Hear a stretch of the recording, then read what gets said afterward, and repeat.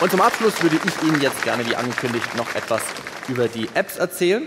Da gibt es zum Beispiel von der Telekom Navigon, aber auch eine ganz besondere Sammlung, die ich Ihnen persönlich vorstellen möchte.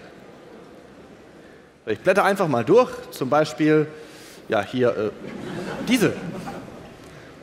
Die hebe ich mir immer auf, damit ich sie nicht verliere. Die habe ich doppelt. Einmal hier in echt und dann natürlich im kostenlosen Mediencenter der Telekom. Da ziehe ich mir auch gleich nochmal das Update runter. So. Kann nichts passieren. Und dank dieser Kordel hier können wir jetzt gemeinsam in der Fotos-App meine Urlaubsbilder anschauen. Nicht alle, keine Sorge. Wir schauen nur die Übersicht an. Die kann ich hier wunderschön verschieben. Und noch besser, ich kann sie direkt ausdrucken. Da gehen keine Daten verloren. Aber besser, ich spiegel die nochmal. Dann haben wir sie sowohl in real als auch digital. Und ich kann Ihnen mein absolutes Lieblingsmotiv zeigen. Ein sehr gelungener Sonnenuntergang. Ein paar Stunden zu früh abgedrückt. Gott sei Dank kann ich auch im Nachhinein noch die Atmosphäre des Bildes verändern und so eine richtig romantische Atmosphäre schaffen. Ist das nicht schön? Ich kann sogar die Sonne rausnehmen und die globale Erwärmung stoppen. So viel Welten retten ist anstrengend.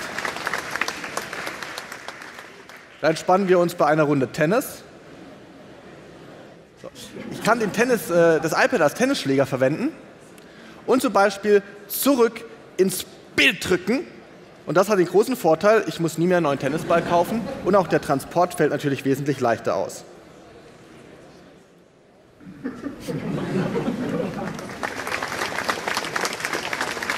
So richtig Spaß macht das dann nur bei richtigem gutem Wetter. Das kann ich auch ganz leicht verändern.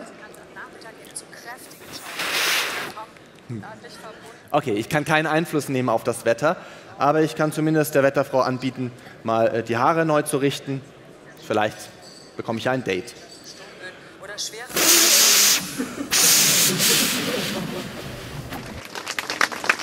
Wer sich mal die Haare richten lassen möchte, kann einfach nachher hier vorbeikommen.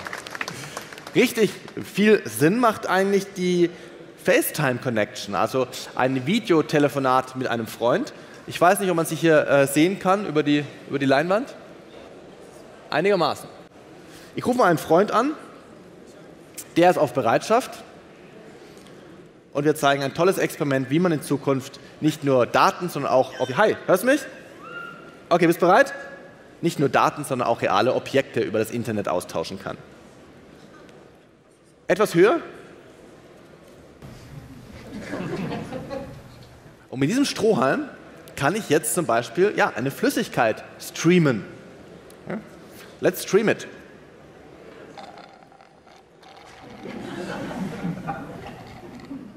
Ah, perfekt, minus drei Grad. Aber nicht nur das, ich kann, ist keine Einbahnstraße, ich kann auch was hineingeben, Gläschen Milch. Prost, Vorsicht, Milch kommt. Das nennt man wohl Milchgesicht. Tut mir leid, Christoph. Danke fürs Mitmachen und das Publikum dankt dir auch. Tschüss.